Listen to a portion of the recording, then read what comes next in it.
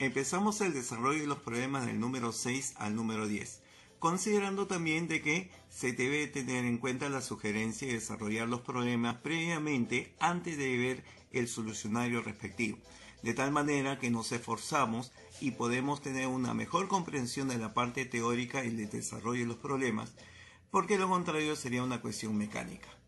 En el problema número 6 me indican que se tiene un termómetro que está mal graduado.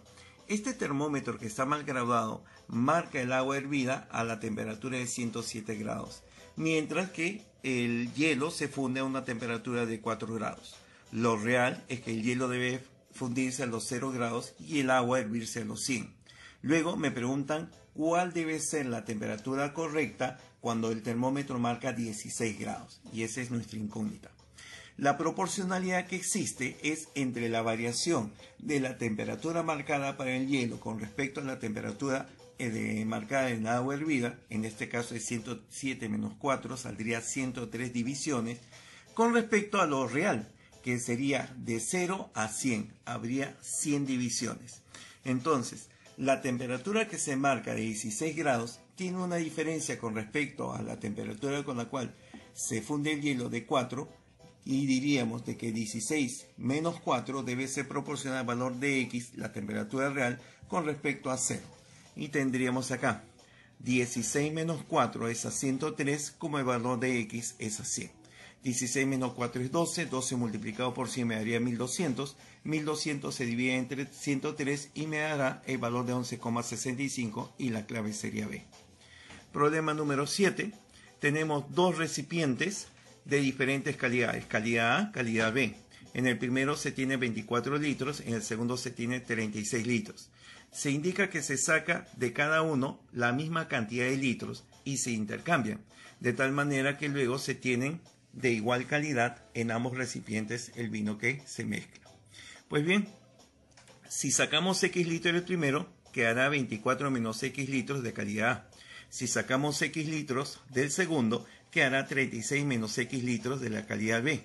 Entonces, como vamos a intercambiar, ahora ocurre lo siguiente. Al resultar de igual calidad, tendríamos de que aquí aparecen X litros de B en el primer recipiente con 24 menos X litros de A. En el segundo recipiente tendremos X litros de A con 36 menos X litros de B. Como son de igual calidad, puedo decir que la concentración de A en el primero debe ser igual a la concentración de B de A en el segundo. O también podría decir que la concentración de B en el primero y en el segundo es la misma. O la relación de los volúmenes de A y B en el primero y en el segundo también deben ser iguales. Trabajo con la concentración de A. La concentración de A es la cantidad o volumen de A con respecto al volumen total. En este caso, en el primero, yo tengo de A 24 menos X sobre un total de 24 litros. Y tendría acá 24 menos X sobre 24 es la concentración de A en el segundo recipiente sería la cantidad de A que sería X sobre el total que sería 36 menos X. Y escribo lo siguiente, X sobre 36. En resolviendo esto, tendré que x será igual a 24 por 36 sobre 24 más 36. El valor numérico de x, 14,4. La clave sería C. Recordad que en este tipo de problemas, repetitivo porque es bastante conocido, el valor de la cantidad a intercambiar resulta la mitad de la media armónica de los volúmenes que tienen inicialmente cada uno de ellos. Problema número 8. En el problema número 8 tenemos tres recipientes de diferentes volúmenes. En ellos hay contenidos de dos tipos de vino, M y N. En el primero, la relación de M y N es de 2 a 5. En el segundo, de 1 a 3. En el tercero, de 2 a 1. Como en el primero es de 2 a 5, el total es como 7. En el segundo, de 1 a 3, el total es como 4. En el tercero, de 2 a 1, el total es como 3. Sin embargo, me dicen que los volúmenes totales de cada uno de ellos deben de estar en la relación de 1, de 2 y de 3. Entonces, como los volúmenes totales deben ser también como 7, como 4 y como 3, observamos de que deben tener el factor 7, el factor 4 y el factor 3.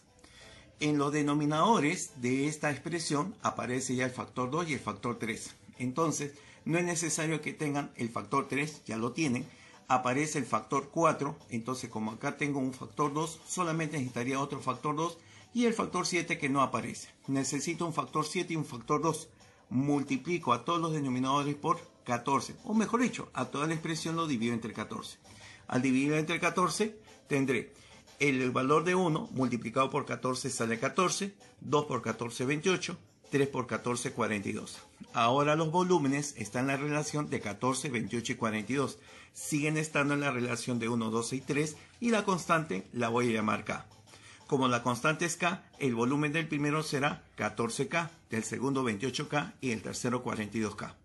Recordémonos, recordemos que los volúmenes estaban en la relación de 2 a 5, de 1 a 3 y 2 a 1. Entonces, como era 2 y 5, y yo sé que ahora en el primer recipiente hay 14K, entonces voy a establecer, como estaba en la relación de 2 a 5, debería ser como 7. 14 entre 7 me daría 2. Multiplico 2 por 2 saldría 4K. 2 por 5 saldría 10K. Está en la relación de 2 a 5 y suman 14. En el segundo recipiente estaba en la relación de 1 a 3. 1 y 3 hacen como 4. 28 lo divido entre 4 y multiplico 28 entre 4 saldría 7. 7K multiplica a 1 y a 3. Sale 7K y 21K. Finalmente, en el último estaba en la relación de 2 a 1. Sería como 3. 42 entre 3 saldría 14. 14 por 2 saldría 28 y 14 por 1 14K. Ya tengo las cantidades de M y N en cada uno de los recipientes. Dato del problema, me dicen que el volumen total de N debe ser 135 litros. Pero de N observamos que es 10K en el primero, 21K en el segundo, 14K en el tercero. La suma de 10K, 21K, 14K es igual a 135, donde se obtiene que K vale 3 nos piden calcular la diferencia entre el volumen 3 y el volumen 2, entre el tercer y segundo recipiente, que sería 42K menos 28K. 42 menos 28 saldría 14 veces K, o sea 14 veces 3. 14 por 3 me da un valor de 42. La clave respectiva sería la clave D. Problema número 9. En el problema número 9 me dicen que el número 15 es la media proporcional de A y de 25.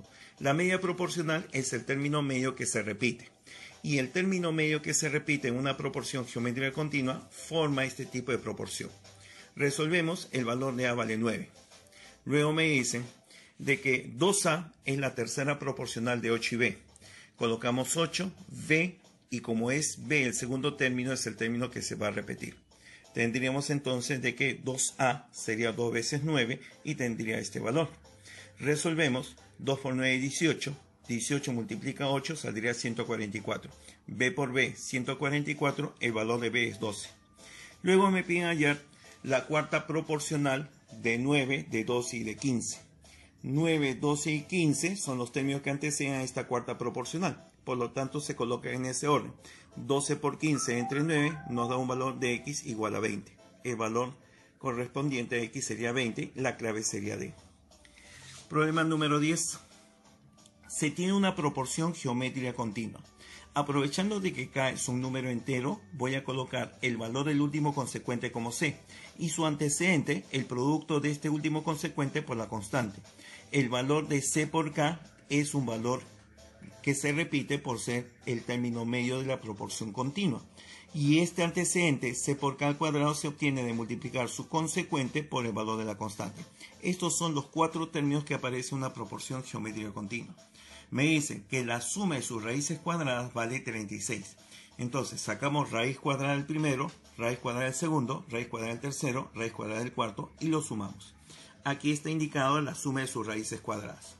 Factorizamos la raíz cuadrada de c, que es un término que aparece en cada expresión. Factorizo la raíz cuadrada de c, me queda raíz k al cuadrado más 2 veces raíz de k más 1. Esto de acá es un trinomio cuadrado perfecto, el desarrollo de raíz de k más 1 elevado al cuadrado. Esto vale 36 y 36 lo puedes expresar como 4 por 3 al cuadrado o también 1 por 6 al cuadrado. También alguien podría decir que 36 es el producto de 9 por 2 al cuadrado, pero si esto lo hacemos igual a 2, entonces raíz de k tendría que ser 1. La constante no puede ser 1 para esta expresión. Entonces tomamos estas alternativas que sea 4 por 3 al cuadrado o 1 por 6 al cuadrado. Si es 4 por 3 al cuadrado, lo tengo que hacer igual a L a 4 y a L a 3 al cuadrado. Se obtiene entonces la primera alternativa que sería raíz cuadrada de c igual a 4 y raíz k más 1 igual a 3. Luego sacamos de que c saldría 16 y k vale 4. La proporción que se forma sería 256 sobre 64 igual a 64 sobre 16. La constante es 4. Me piden la suma de la, la raíz cuadrada de la suma de los cuatro términos. Y eso vendría a ser raíz cuadrada de 256 más 64 más 64 más 16, que suman 400. Y el resultado sale 20. La, la segunda alternativa sería cuando la raíz cuadrada de c vale 1 y raíz de k más 1 igual a 6.